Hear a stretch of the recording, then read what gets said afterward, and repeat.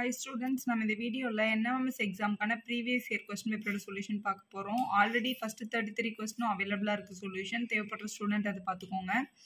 இதில் பாருங்கள் if popular is coded as இங்கே ஒரு கோடிங் வேர்ட் கொடுத்துருக்காங்க. அதே மாதிரி மிஷின் வந்து இந்த மாதிரி கோட் ஆச்சுன்னா ப்ராப்ளம் அப்படின்றது எப்படி கோட் பண்ணும் அப்படின்றது தான் உங்களோட கொஸ்டின் இதில் எந்த மாதிரி ரூல் யூஸ் பண்ணியிருக்காங்க அப்படின்னா இப்போ இங்கே வந்து ஃபஸ்ட் லெட்ரு பி வந்து இங்கே ஆராக கன்வெர்ட் ஆகிருக்கு ஓ வந்து செகண்ட் இங்கே ஆராக கன்வெர்ட் ஆகிருக்கு இப்போ பிக்கு அப்புறம் இங்கே ஆர் கொடுத்துருக்காங்கன்னா இங்கே பாருங்களேன் பீன்ற லெட்ரு இங்கே இருக்குது ஆர்ன்ற லெட்ரு இங்கே இருக்குது ஒரு லெட்ரு விட்டுருக்காங்க. இங்கேயும் ஃபஸ்ட் லெட்ரு பாருங்களேன் எம் வந்து ஓ ஆயிருக்கு. ஸோ எம்முக்கு அப்புறம் எண்ணை விட்டுட்டு ஓ எழுதியிருக்காங்க. அப்போ ஃபஸ்ட் லெட்டரோட கோடு வந்து ஒரு லெட்டரை விட்டுட்டு எழுதணும் அப்படின்றது தான் ஸோ அப்படி பார்த்தா பிக்கு அப்புறம் கியூவை விட்டுட்டு ஆர் வரணும். இங்கே எல்லாத்துலேயுமே வந்து ஆர் தான் கொடுத்துருக்காங்க. ஸோ இதில் வந்து எப்போவுமே இந்த ஆப்ஷன் செக் பண்ணுங்கள் ஆப்ஷனில் வந்து ஃபஸ்ட்டு ரெண்டு ஆல்ஃபபெட் எல்லாருக்கும் ஒரே மாதிரி தான் இருக்குது ஸோ அதை நம்ம செக்கே பண்ண தேவையில்லை. தேர்ட் லெட்டர் வந்து செக் பண்ணால் கூட போதும்.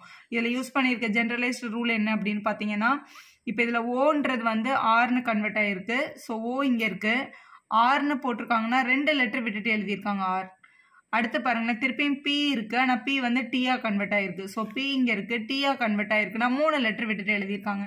முதல்ல ஒரு லெட்டர் விட்டுட்டு எழுதியிருக்காங்க அப்புறம் ரெண்டு லெட்டர் விட்டுட்டு எழுதியிருக்காங்க அப்புறம் மூணு லெட்டர் இது இதே மாதிரி தான் யூஸ் பண்ணியிருக்காங்க எல்லாமே. ஸோ அதே கோடிங் யூஸ் பண்ணி இப்போ இந்த ப்ராப்ளம்க்கு நம்ம ஆன்சர் பண்ண போகிறோம் ஸோ ஃபர்ஸ்ட் லெட்டர் வந்து ஒரு லெட்டர் விட்டுட்டு நம்ம எழுதணும்.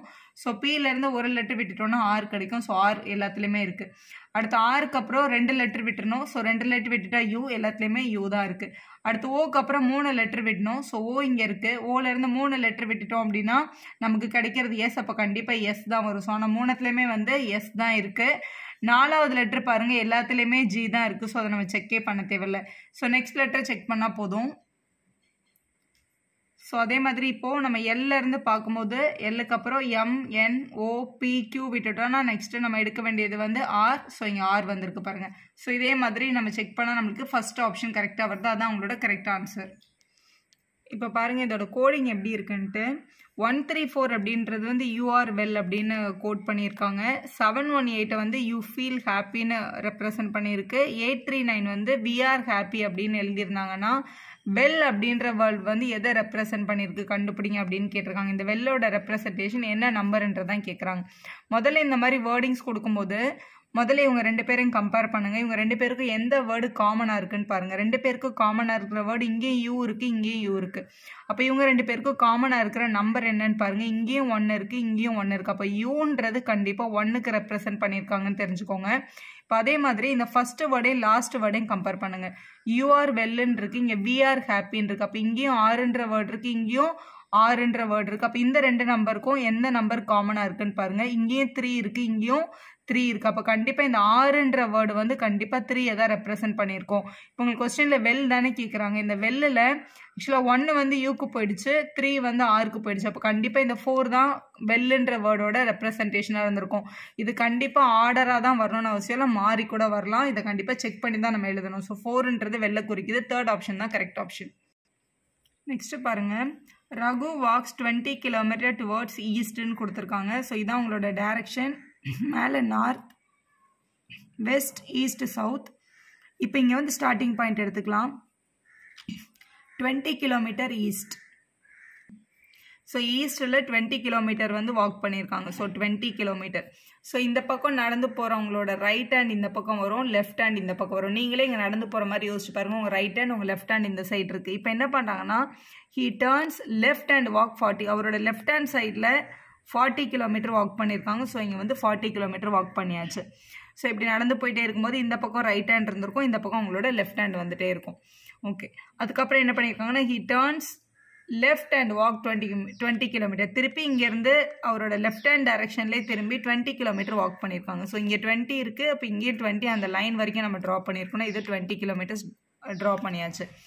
ஸோ இப்படி இங்கே மேலே ரைட் இருக்கும். இங்கே லெஃப்ட் ஹேண்ட் வந்துகிட்டே இருக்குது finally he moves twenty kilometre turns to the left லெஃப்ட்டில் டுவெண்ட்டி கிலோமீட்டர் வாக் பண்ணியிருக்காங்கன்னு சொல்லியிருக்காங்க. இங்கேயே ஸ்டாப் ஆகிடுவாங்க ஏன்னா இந்த இடத்துல ஃபார்ட்டி கிலோமீட்டர் லைன் நம்ம ட்ரா பண்ணியிருக்கோம். அப்போ டுவெண்ட்டிக்கு இதில் பாதி தான் நம்ம ட்ரா பண்ணோம். ஸோ இதில் டுவெண்ட்டி கிலோமீட்டர் ட்ரா பண்ணிட்டாங்க. How far he is from the starting point இப்போ ஸ்டார்டிங் பாயிண்ட்லேருந்து இங்கே எவ்வளோ லென்த் இருக்கும்னு கேட்குறாங்க இது மொத்தமாக ஃபார்ட்டி கிலோமீட்டர் இல்லை டுவெண்ட்டி தான் வாக் பண்ணியிருக்காங்க. அப்போ ரிமைனிங் அவர் கவர் பண்ண வேண்டிய டிஸ்டன்ஸும் டுவெண்ட்டி கிலோமீட்டர் தான். டுவெண்ட்டி கிலோமீட்டர் அப்படின்ற first option correct option next பாருங்க அரேஞ்ச் த கிவன் வேர்ட்ஸ் இந்த alphabetical order nest near neck need அப்படின்னு இருக்கு. நெக்ஸ்ட் கூட இருக்கு. ஃபர்ஸ்ட் லெட்டர் பாருங்க எல்லாத்துலேயுமே என் செகண்ட் லெட்டர் பாருங்க எல்லாத்துலேயுமே இ e. ஸோ அதில் எதுவுமே நம்ம கண்டுபிடிக்க முடியாது. தேர்ட் லெட்டரை வச்சு தான் நம்ம கண்டுபிடிக்க போகிறோம் தேர்ட் லெட்டர் இங்கே எஸ் இருக்குது இங்கே ஏ இருக்குது இங்கே சி திருப்பி இங்கே ஏ இங்கே எக்ஸ் இந்த தேர்ட் லெட்டர் வச்சு தான் நம்ம அரேஞ்ச் பண்ண போகிறோம் இப்போ தேர்ட் லெட்டரில் ஃபஸ்ட்டு வர்றது வந்து ஏ ஏபிசிடியில் முதல்ல ஏ தான் வரும். ஸோ ஏ தான் எடுக்கணும். ஏ எடுக்கணும்னா ஏல இங்கே ஒரு ஏன்ற வேர்டு இருக்குது இங்கே ஒரு ஏன்ற வேர்டு இருக்குது அப்போ இது ரெண்டத்தில் எது ஃபஸ்ட்டு வரும் அப்படின்னு பார்க்கணும். அதை ஃபஸ்ட்டு வரதை பார்க்குறதுக்கு ஃபோர்த் லெட்டரை பாருங்கள் ஆர் இருக்குது டி இருக்குது ஸோ அப்படி பார்க்கும்போது நம்மளுக்கு ஆர் தான் ஃபஸ்ட்டு வரும் இல்லையா? அதனால கண்டிப்பாக இதுதான் நம்மளோட ஃபஸ்ட்டு வேர்ட் இது உங்களோட செகண்ட் வேர்ட் ஏன்னா e, இ ஏ தான் ஸ்டார்ட் பண்ணும் அதில் முதல்ல ஆர் வந்துடும் அதுக்கப்புறம் டி வந்துடும் இது உங்களோட ஃபர்ஸ்ட் வேர்ட் இது உங்களோட செகண்ட் வேர்ட் கண்டுபிடிச்சாச்சு. அடுத்து நம்ம தேர்ட் லெட்டரை பார்த்தோம் இங்கே எஸ் இருக்கு சி இருக்கு எக்ஸ் இருக்கு. சி தான் வரும் இல்லையா? அதனால சி தான் தேர்ட் லெட்டருக்கு எடுக்கணும். ஸோ சி கம்ப்ளீட் ஆயிடுச்சு. எஸ்ஸும் எக்ஸையும் பார்க்குறோம். அப்போ எஸ் தான் அடுத்து வரும். எக்ஸ் தான் கடைசியாக வரும். அப்போ இதுதான் உங்களோட ஆர்டர் முதல்ல பி அதுக்கப்புறம் டி சி ஏஇ அப்படின்றது கரெக்டாக இருக்குது அது உங்களோட ஃபஸ்ட் செகண்ட் ஆப்ஷனில் இருக்குது பாருங்கள் பிடிசிஏஇ e அப்படின்றதா தான் நீங்கள் செலக்ட் பண்ண வேண்டிய ஆப்ஷன் அரேஞ்ச் த வேர்ட்ஸ் இந்த மீனிங்ஃபுல் சீக்வன்ஸ்னு கேட்டிருக்காங்க. Book pulp timber forest paper அப்படின்னு இருக்குது ஸோ முதல்ல ஃபாரஸ்ட்லேருந்து உட்டு வந்து டிம்பருக்கு வரும். டிம்பர்லேருந்து உட்டை வந்து கரெக்டாக க்ளீன் பண்ணி கட் பண்ணி அதுக்கப்புறம் அதை பல்ப் ஆக்குவாங்க. அந்த பல்ப்லேருந்து பேப்பர் ரெடி பண்ணுவாங்க. அந்த பேப்பர்ஸ் எல்லாம் யூஸ் பண்ணி புக்காக மாற்றுவாங்க அப்போ இதுதான் வந்து கரெக்டான ஆர்டர் இந்த ஆர்டர் படி நம்பர் போட்டுக்கோங்க. முதல்ல ஃபாரஸ்ட் ஃபாரஸ்ட் வந்து டி பிளேஸில் இருக்குது அப்போ முதல்ல டி தான் வரணும். அடுத்து டிம்பர் டிம்பர் வந்து சியில் இருக்குது அது மாதிரி டி சி பிஇஏ அந்த ஆப்ஷன் தான் கரெக்டாக இருக்குது அது உங்களோட தேர்ட் ஆப்ஷனில் இருக்குது பாருங்கள் அதான் நம்ம செலக்ட் பண்ணணும். நெக்ஸ்ட் பாருங்கள் minus means plus plus means multiplication multiplication means division division means minus then what is the value of this அப்படின்னு கேட்டிருக்காங்களா? இதை நான் எழுதியிருக்கேன். மைனஸ் வர இடத்தெல்லாம் ப்ளஸ் போடணும். ம ப்ளஸ்ன்னா மல்டிபிள் மல்டிபிள்னா டிவைட் டிவைட் மைனஸ் இதான் அவங்க கொடுத்துருக்க ரூல் இங்கே கொடுத்துருக்க நம்பர்ஸை மட்டும் எடுத்து எழுதியிருக்கேன். நடுவில் நான் எந்த சிம்பிளும் போடல. எது சேஞ்ச் பண்ண சொல்லியிருக்காங்களோ அதை சேஞ்ச் பண்ணி போட போகிறேன் முதல்ல மல்டிப்ளிகேஷன் கொடுத்துருக்காங்க. மல்டிப்ளிகேஷன் என்னவா மாற்ற சொல்லியிருக்காங்க? டிவிஷன் அதனால முதல்ல டிவிஷன் போடணும். அடுத்து ப்ளஸ் கொடுத்துருக்காங்க. ப்ளஸ் எதுவாக மாற்றணும் மல்டிப்ளாக மாற்றணும் அதனால் மல்டிப்ளிகேஷன் போடணும். அடுத்து மைனஸ் கொடுத்துருக்காங்க. மைனஸை நம்ம மாற்ற வேண்டியது ப்ளஸ் அதனால ப்ளஸ் போட்டுக்கோங்க. அடுத்து டிவிஷன் கொடுத்துருக்காங்க. டிவிஷனோட சேஞ்ச் வந்து மைனஸ் கொடுத்துருக்கறதுனால மைனஸ் போட்டுக்கலாம். இதை சால்வ் பண்ணும்போது கண்டிப்பாக நம்ம யூஸ் பண்ண வேண்டியது வந்து போர்ட் மாஸ் ரூல் தான். So bracket of division multiplication addition subtraction so நம்மளுக்கு இங்கே ப்ராக்கெட்ஸ் ஆஃப் எதுவுமே இல்லை. ஸோ முதல்ல டிவிஷன் அதுக்கப்புறம் மல்டிப்ளிகேஷன் அடிஷன் சப்ட்ராக்ஷன் இதுதான் ஆர்டர் இந்த ஆர்டரில் தான் நம்ம எப்போவுமே செம்ம சால்வ் பண்ணணும். ஸோ முதல்ல இந்த டிவிஷனை தான் நம்ம பர்ஃபார்ம் பண்ணணும். ஃபிஃப்டீனை ஃபைவால் டிவைட் பண்ணணும். ஃபிஃப்டீனை ஃபைவால் டிவைட் பண்ணால் த்ரீ கிடைக்கும். ரிமைனிங் இருக்கிற எல்லா டேர்ம்ஸும் ஜஸ்ட் அப்படியே தான் இருக்கும். எதுவுமே நான் மாற்றலை அடுத்து நம்ம பர்ஃபார்ம் பண்ண வேண்டியது வந்து மல்டிப்ளிகேஷன் அப்போ இந்த த்ரீ ஃபோர்ஸ் ஆர் மட்டும் தான் மல்டிப்ள் ஆகும். அப்போ டுவெல் ப்ளஸ் த்ரீ மைனஸ் ஃபிஃப்டின்னு வரும்.